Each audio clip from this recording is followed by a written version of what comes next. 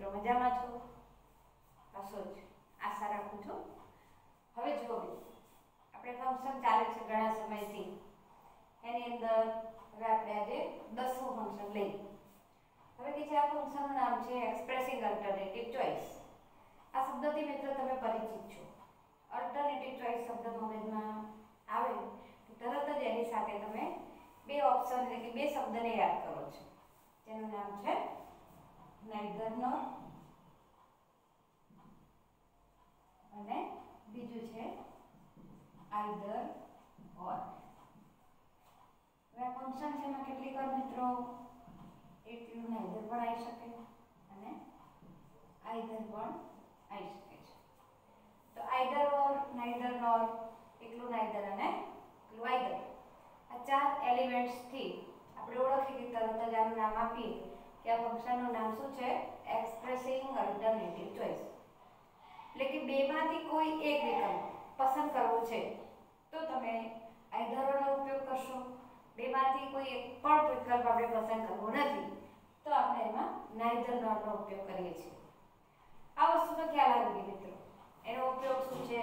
એના એલિમેન્ટ સાથે પણ હવે સેન્ટેન્સ પેટર્ન સેન્ટેન્સ પેટર્ન કઈ રીતે બનાવી શકાય? એ એની સેન્ટેન્સ પેટર્ન તમારે લખવાની છે. સેન્ટેન્સ પેટર્નની અંદર આઈધર ઓર નાઈધર વાળો જે સેન્ટેન્સ છે, એમાં આપણે આટલેથી સોલ્વ કરવું પડે કે આઈધર પ્લસ શબ્દ સમૂહ પ્લસ ઓર કેટલીક વાર શબ્દ પણ આવે પ્લસ અહીંયા વાક્ય અથવા શબ્દ સમૂહ છે. ત્યારબાદ ફરીથી શબ્દ અથવા શબ્દ સમૂહ.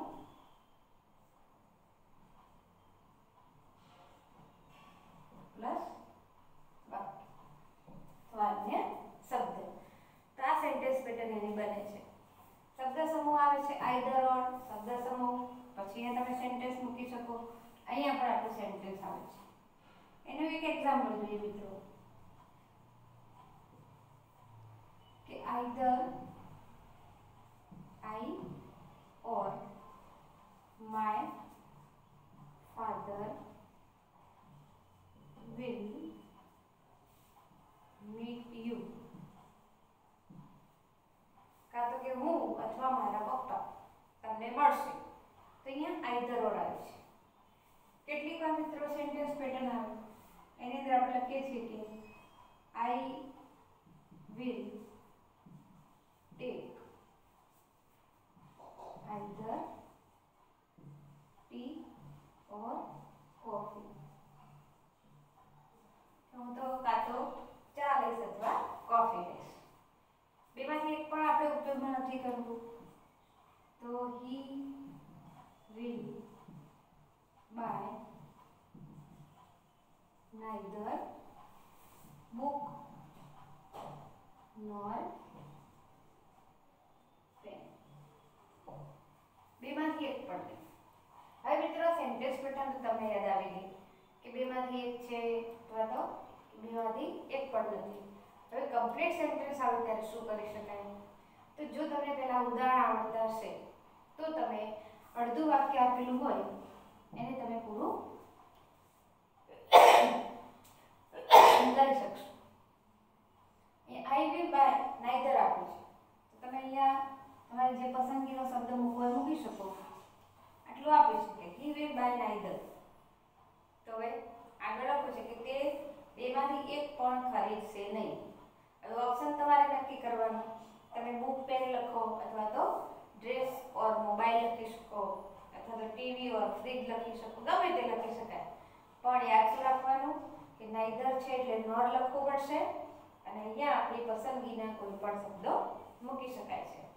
એટલે કે નાઈધર છે એટલે નોર જ લખવું. આઈધર આવે છે તો ઓર લખી શકાય. કેટલીક વખત મિત્રો શરૂઆતની અંદર either I or my father. તો તમને કેટલીક વાર આઈધર એકલું આપી દે. તો આઈધર આઈ આપી છે બ્લેન્ક છે. અને ઓરથી વાક્ય શરૂ થતું હોય તો તમારે વાક્યની શરૂઆતની અંદર આઈધર લખવું પડે. અને અહીંયા તમે કોઈ પણ કરતા મૂકી શકો. અહીંયામાં આપણે અહીંયા આઈ લખ્યું છે. આઈના બદલામાં તમે હી પણ લખી શકો, સી પણ લખી શકો. સબ્જેક્ટ તરીકે સાત છે આપણી પાસે ઓપ્શન એમાંથી તમે કોઈ પણ એક ઓપ્શનને લખી શકો. તો આવી રીતે અહીંયા આની સેન્ટેન્સ પેટર્ન બને છે.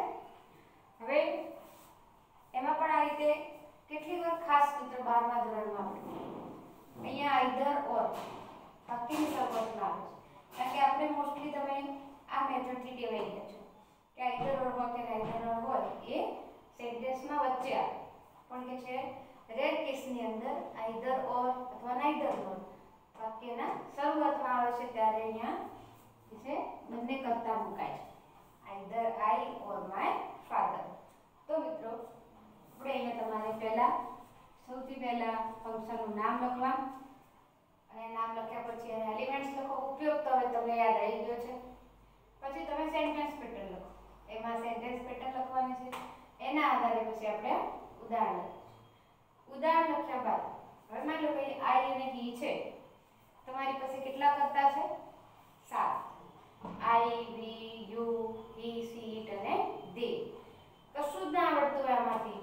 તો અહીંયા આઈ બદલી તમે વી થી વાક્ય બનાવો કે we will take either tea or coffee you will take either tea or coffee પછી અહીંયા he will take either tea or coffee she will take either tea or coffee લખી શકો.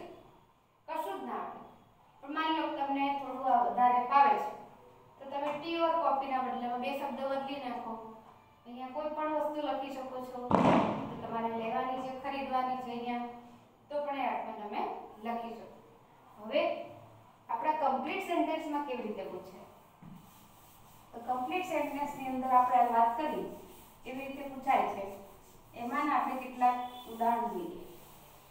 તો કેટલાક ઉદાહરણ છે એમાં આપણે અહીંયા લખીએ. તમારે મિત્રો સાથે લખતું રહેવાનું છે હો. લખશો તો જ ખબર પડશે. અને પુનરાવર્તન પણ થશે. આમાં અહીંયા તમને કહે છે કે આઈ વિલ કોલ એક એક્ઝામ્પલ જોઈએ આપણે. તમને આટલું આપ્યું છે. અને વાક્ય ખાલી જગ્યા છે. શું લખશું? હવે તમે નાઇધર વર્ડથી પણ લખી શકો આઈધર વર્ડથી પણ લખી શકો. એટલું નાઇધરથી પણ લખી શકાય. હવે આપણી પેટર્ન જે છે પરીક્ષાની એમાં તમને આ રીતે માની લો કે આપ્યું છે. ફંક્શનનું નામ છે અલ્ટરનેટિવ ચોઇસ અને અહીંયા કૌંસમાં લખ્યું છે આઈધર ઓર હવે તમને ઉલ્લેખ આપી દીધો છે કે તમે આ ફંક્શન ભણ્યા છો, એના ત્રણ એલિમેન્ટ્સ છે, બે, ચાર એલિમેન્ટ્સ થઈ ગયા. એકલું આઈધર એકલું નાઈધર એકલું આઈધર ઓર અને એકલું નાઈધર તો આ ચારમાંથી તમારે માત્ર આનાથી જ બનાવવાનું છે. એ પણ કહી દીધું છે. તમને ઓપ્શન પસંદગીનો પણ આપેલ હતી કે તમે આનાથી જ વાક્ય બનાવી દો. એટલે આપણે પૂરું કરવું છે. એટલે તમને આખું સેન્ટેન્સ પેટર્ન આવડે છે. આવડે છે તો તમે આ લખી શકો. આપણું વાક્ય આટલે સુધી થઈ ગયું છે. અહીંયા આપણે જેમાં લખ્યું કે આઈ વિલ ટેક હવે આપણે આટલે પૂરું કરવાનું છે કે આઈ વિલ કોલ હું કોલ કરીશ. કોને કરીશ? ક્યારે કરીશ? ક્યાં કરીશ? એ આપણે નક્કી કરવાનું છે I will call you either morning or evening. હું તમને સવારે અથવા તો સાંજે ફોન કરીશ. આ રીતે વાક્ય બને. બીજું લખવું હોય તો બીજું બનાવીએ આપણે. I will call either your parents or friends તો મિત્રો આ રીતે પણ લખી શકાય ખ્યાલ આવ્યો એટલે જવાબમાં તમે લખી શકો છો પણ આપણે શું છે કે આઈધર પછી અને ઓર એના વચ્ચે આપણે ઓપ્શન લખવા પડે. તો આવું એક ઉદાહરણ બની શકે. બીજું એક ઉદાહરણ જોઈએ. બટું છે. અહીંયા કે છે કે teacher will teachers the teacher will teach us પછી ખાલી વાક્ય પૂરું. શિક્ષક અમને શીખવશે. શું શીખવશે? Teachers either maths or English કોઈ કે અમારે ઇંગ્લિશ કે મેથ્સ નથી ભણવું જલ્દી નાખો teacher will teach us either Gujarati or Hindi મેનાની પણ કોઈ જુદું મગજ છે કે અમને આ બિલકુલ નથી ગમતું તો કે છે ત્રીજું લખો teacher will teach us either science